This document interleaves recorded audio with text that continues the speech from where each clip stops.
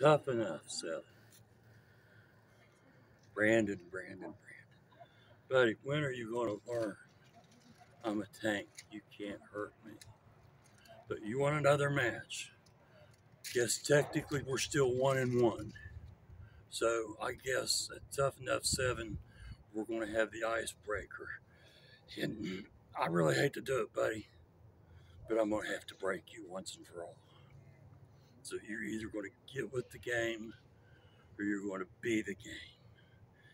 Have a good day.